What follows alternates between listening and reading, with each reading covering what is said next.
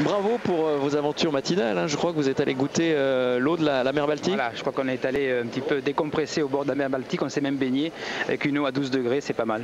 Non, non, c'est- pas mal du tout. On est impressionné. hein. C'est un peu Dimitri Karbanenko. hein. Je crois qu'il vous a donné l'idée. Pour lui, ça reste encore assez chaud à 12 degrés. Mais pour tous ceux qui se baignent en Bretagne, ils pourront apprécier quand même la performance d'une partie. On va pas dire ceux qui ont osé et ceux qui n'ont pas osé. Non, on va rester là-dessus.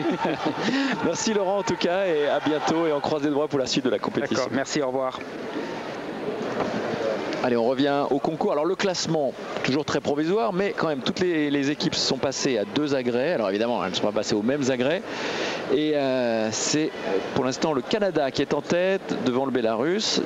Deux dernières positions, la Chine et le Japon. Et oui, les deux grandes favorites de la compétition sont pour l'instant aux deux